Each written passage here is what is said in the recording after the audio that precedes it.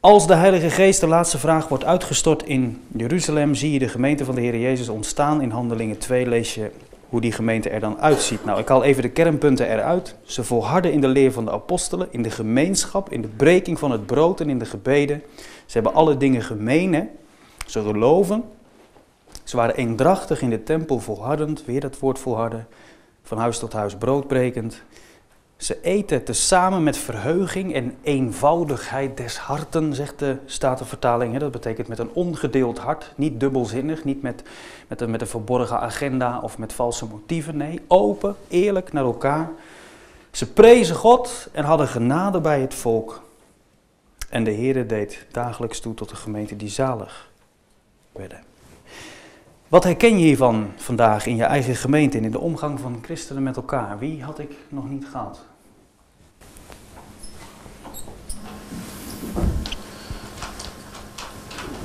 Uh,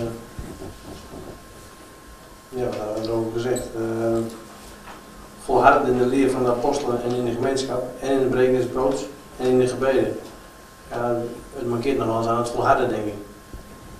Ja, we zijn druk met alle dingen van elke dag, maar ja, wat doen we? Ja, volharden zeg maar, dat, uh, dan gaat het vaak mis, denk ik. Ja. En, uh, en dagelijks eendrachtig in de tempel en volharden van huis tot huis. Ja, dat, ja. Ook weer, ja, je kunt natuurlijk gemeente Mm. met z'n allen iedere dag bij elkaar komen, maar ja, ook daarin, uh, ja, daarin, op, hoe moet ik zeggen, tekort geschiet, denk ik. Ja.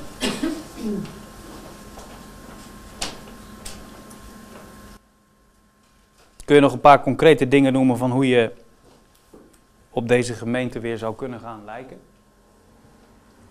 Of meer zou kunnen gaan lijken? Uh, meer op gaan lijken op de gemeente van Groningen 2. Ja. Wat brengt verandering? Ja, ja eh, het verwachten met bijvoorbeeld eh, iets als een tentweek. Hm. Eh, wat verwachten we daarvan? Ja. En ja, ik vind het moeilijk. Zijn, je moet er niet helemaal aan de kant schuiven, geen wat we al doen, denk ik. Mhm, precies. Want, ja, het is ook niet zo dat ja, er gebeuren ook wel een hoop goede dingen. Ja. En het is niet zo dat, dat, allemaal, eh, dat je dat aan de kant kan zetten en, eh, Nee. en zeggen, het is allemaal niks. Nee. Dus het heeft verhaal op twee kanten, zeg maar. Dat is eigenlijk eh, wat we zo zeggen.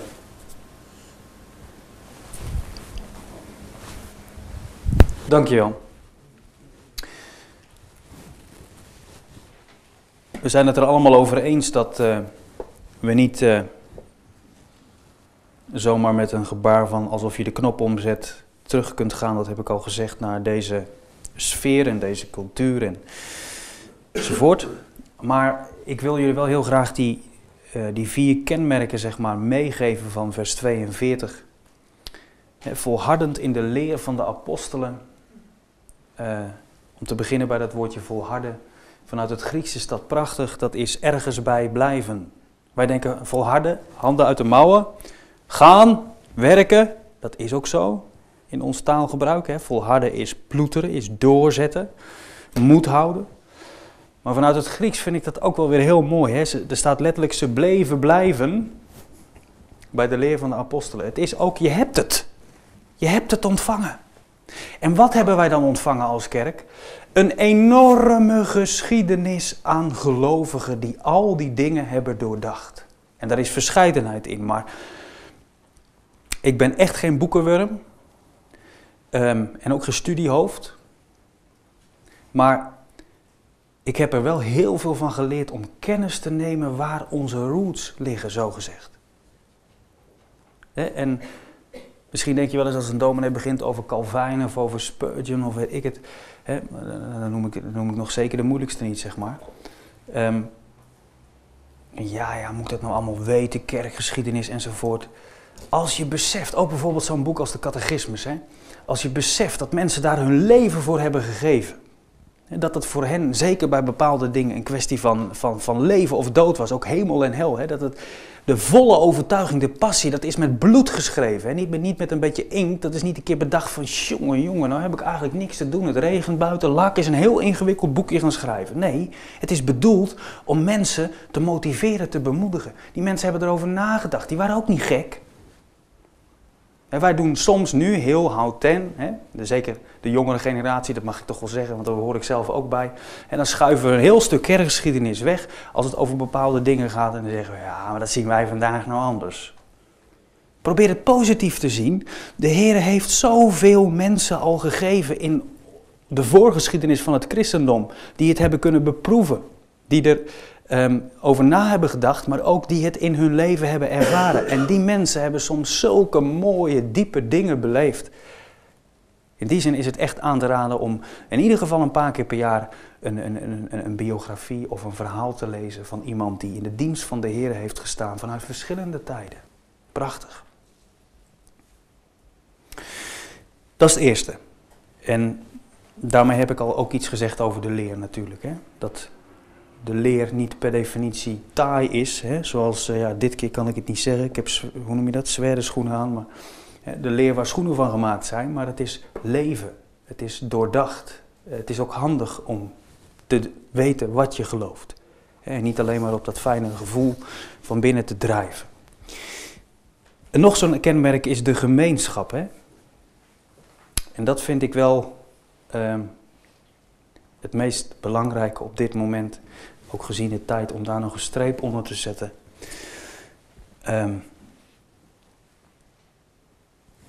daar, zit, daar zit eigenlijk al zoveel in. Want wij gaan natuurlijk al snel praten over, ja, maar dat kun je toch nu niet meer doen. Hoe moet je dat nou praktisch maken? Het lijkt wel communistisch. Ze deelden alles, ze verkochten alles, ze gaan alles met elkaar.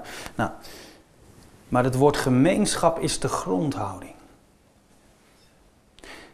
Ik ontmoet te veel mensen en ik ontmoet hem ook in mijn eigen hart, die, ja, die zo egoïstisch zijn dat ze een ander te weinig ruimte geven.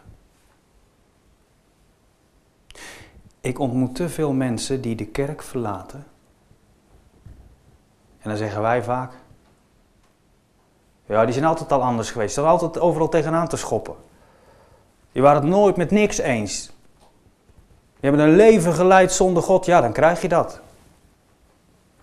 Dan krijg je ervan als je eerst maar één keer naar de kerk gaat en daarna niet meer. En... Maar ik ontmoet mensen die de kerk verlaten hebben. En als je dan doorvraagt, want ze beginnen, natuurlijk beginnen ze te schoppen. Jij bent toch ook puber geweest? Als het je moeilijk wordt gemaakt, ga je, ga je, ga je nadoen. Lekker veilig. Maar als je doorpraat en het komt in je hart terecht en mensen gaan doorvragen, wat krijg je dan als antwoord? Waarom ben je weggegaan? Er was niemand die me echt zag staan. Er was niemand die naar mijn vragen luisterde. En ten diepste, de mensen om me heen lieten niet zien wie God was. En dat is nou juist gemeenschap.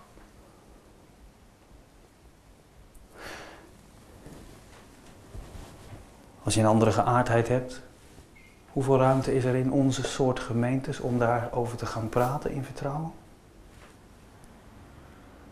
Dat dan mensen uiteindelijk ergens terechtkomen en dan nog een trap nakrijgen van nou moet kijken. Gelijk een vriend. Heeft vaak mee te maken dat ze toen ze het ontdekten geen ruimte hadden. En daardoor uitgestoten zijn en daardoor juist daar terecht zijn gekomen. Moet je, zo, moet je zo iemand dan maar gaan knuffelen? Lekker gezellig, gemeenschap in de goede zin van het woord. Hè? En dat we dan maar eventjes proberen vanuit de liefde de boel te sussen. En, en mag je dan niet vanuit de Bijbel? Jazeker. Maar wel vanuit de houding van dienen. Doorvragen. Niet ten koste van je meester.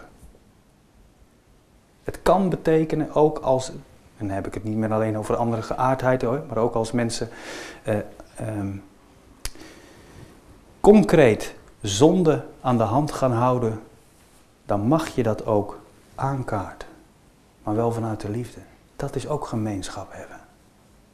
Vanuit de liefde elkaar, lees gelaten zes, elkaars lasten dragen. Beseffend dat jij de volgende kunt zijn die valt.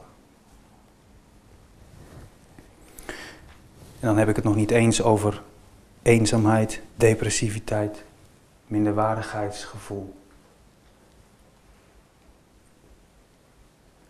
Juist in de gemeente van de Heer Jezus Christus zou er voor die mensen zoveel ruimte moeten zijn. En het is er ook. Het gebeurt ook. Laten we dat vooral ook benoemen, dat dat gebeurt. Maar het gebeurt te weinig. En ik hoop dat je ook daar vanavond ehm, mee naar huis wil gaan. Met dit kernwoord. Begin zondag maar eens om je heen te kijken. Kijk eens in je familie. Zijn we nou mensen die lid zijn van een club? Die dezelfde regels wel hoog houden en ieder gaat gewoon zijn eigen ding doen? Of zijn wij de gemeente van Christus, leden van één lichaam? Met het hoofd dat boven is. Laatst hoorde ik van een dominee, en daar ga ik mee eindigen, die in de uh, consistorie kwam. Hij was een toga aan het aantrekken. Ik zal hem niet imiteren, al is het verleidelijk bij deze dominee. Het gaat niet om de naam van die dominee, maar wel om wat hij mij in ieder geval, en ik hoop jou ook meegaf. Hij vroeg aan die ouderlingen, is er uh, de afgelopen dagen iemand tot geloof gekomen? In de gemeente? Nee, nee, nee, nee. Afgelopen twee weken? Niet, niet dat we weten. Afgelopen twee maanden? Afgelopen jaar?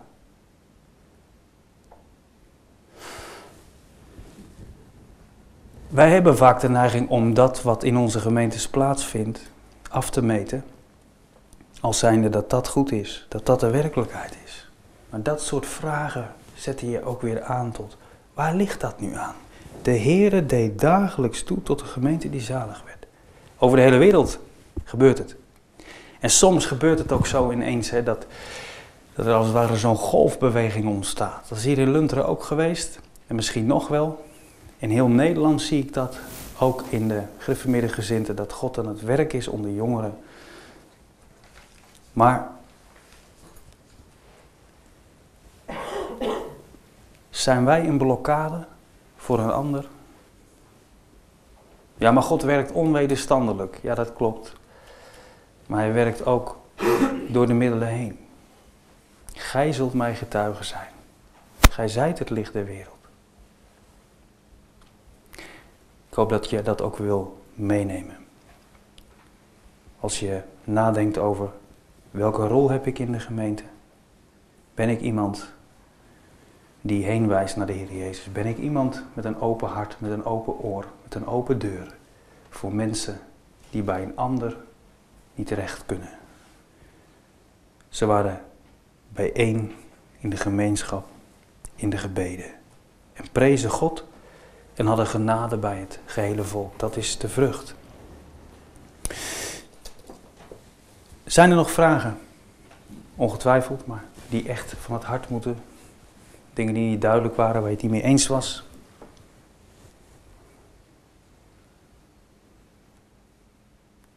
Kan hoor, als er iets rechtgezet moet worden, dan moet je het zeggen. Het wordt opgenomen, dus dan. Niet? toch die laatste vraag. Hoe zouden we weer meer op die gemeente kunnen visie Ja, ik heb daar natuurlijk indirect al het een en ander over gezegd. Namelijk dat we gaan beseffen waar we vandaan komen. En dan niet alleen maar, oh, wat was het mooi. En nu is het moeilijk. Maar met schuldbeleidnis. Dat wij mede schuldig zijn aan de verkilling in de kerk.